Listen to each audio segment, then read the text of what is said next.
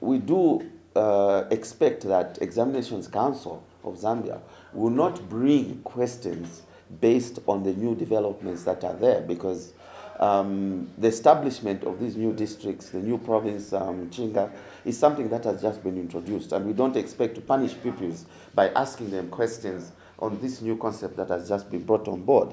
And so we are aware that uh, we have professionals at the Examinations Council of Zambia and that they will look into the effects of these new developments and how best they can be brought on board when the time is right and so on.